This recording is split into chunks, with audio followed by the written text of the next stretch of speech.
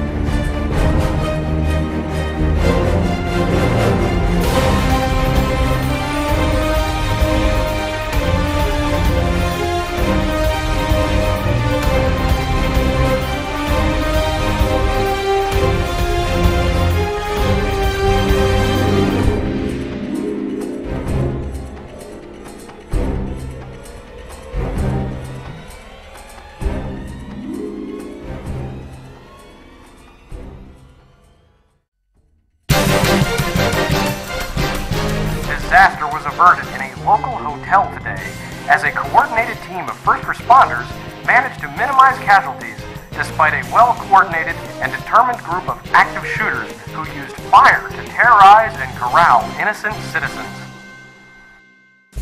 The need to train first responders in a combined training environment has been a noted area of need for a long time. The Department of Homeland Security's First Responders Group was tasked to find a way to bring this training to the field. They conducted research into existing functionality that could be leveraged for their training purposes. The great overlap of capabilities brought the Edge team and the DHS teams together. The city of Sacramento was selected as the location for the pilot project, focusing the training on an active shooter scenario in a local hotel.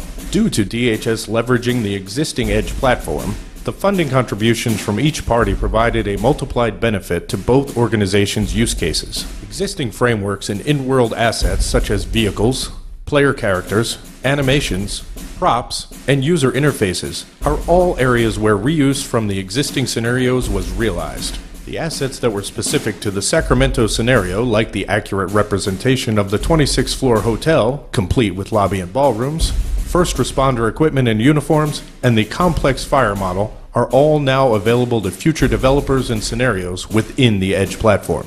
The partnership of the Army and DHS has proven to be beneficial to each organization's training and learning applications and will continue to feed future capabilities. The First Responder Sandbox Level version 1.0 is the culmination of a 10 month development effort involving a team of more than six organizations from both industry and the government. The version 1.0 user trials took place over the week of November 18, 2013, in Sacramento, California. The trials consisted of over 40 different manned role players, with over 50 artificial intelligence driven non player characters filling the roles of hotel patrons and employees. The manned roles consisted of several different disciplines, including law enforcement, firefighters, emergency medical personnel, dispatch, incident command, civilians, and the suspects themselves. The event included multiple runs of the scenario with the suspects using different tactics and strategies each time. The sandbox construct of this level allows for great flexibility in the types of dynamic events that can drive the scenarios while still remaining within the training doctrine framework. Throughout the multiple scenario run-throughs, the team capitalized on the flexibility of the FRS level and the Edge platform to facilitate maximum training effectiveness. The initial event began with lower-level suspect aggressiveness, providing the trainees time to become familiar with the environment. Then, as the training audience showed increased skill, the complexity and threat grew throughout the subsequent scenario runs. This scaffolded training is only possible because of the flexibility of the training platform. The open-ended capability and flexibility of the Edge platform demonstrated during this event can be extended to support a wide range of future capabilities. Some examples include wildland firefighting, response to attacks on schools, response to natural disasters to train coordination between local first responders and the National Guard, and threats to public transportation, both human and natural. Every training environment developed will be available to any government sponsored group to improve the response to and survivability of threats to our nation with a wide range of deployment options.